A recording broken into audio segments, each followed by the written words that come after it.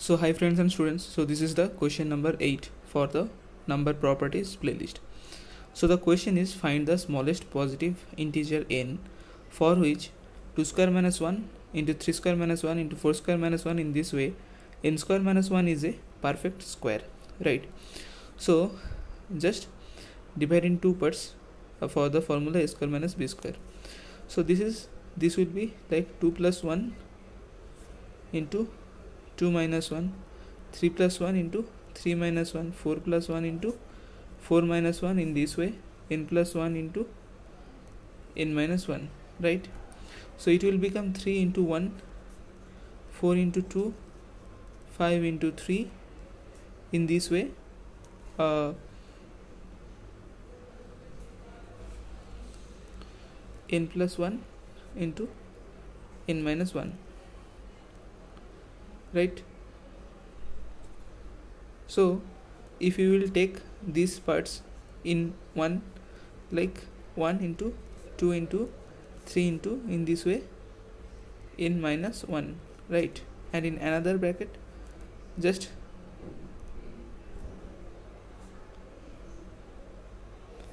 three into 4 into 5 into in this way n plus 1 so here you can see that this is in consecutive forms okay? Like you can write it as n minus 1 factorial okay? Into if you will take 2 here like 2 into 3 into 4 into 5 in this n plus 1 and divided by half right? So this is n minus 1 factorial and this is n plus 1 factorial into half right?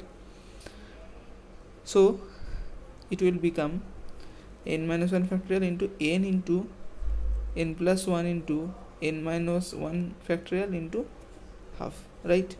So n minus 1 factorial whole square into n into n plus 1 divided by 2 okay? So here we have to put n's value in such a way that that's why it will become the square right? So so to make this square one should be the cube number and another should be the squared number. So as it is mentioned that find the smallest positive so you can assume the number will be inside 1 to 10 if it will be not inside 1 to 10 then we will check after that. Okay? But if it is mentioned that smallest positive then we must have to check first between the number 1 to 10 so in between 1 to 10 the for for this the format which will be squared one should be cube and another should be squared. So only one combination is there 8 and 9 so if n equals to 8 then n plus 1 equals to 9 right? So if you will take n here so 8 into 9 by 2 which is 36 which is 6 square. So now it is become squared number. It is also squared so it's totally a perfect squared right? So first i have just divided this in two parts for the formula a plus b into a minus b. And after that i have taken the small numbers in a set and another numbers are in another set. Here i have checked that 2 is not there. Otherwise it will become consecutive. So i have taken 2 and multiply it by half. Now it is n minus 1 factorial. It is n plus 1 factorial. Okay? So i have just break down into this part this in this way n into n plus 1 into n minus 1 factorial. So now one part will become n minus 1 factorial whole square another part becomes n into n plus 1 by 2 so as it is mentioned the smallest possible numbers so that i have checked.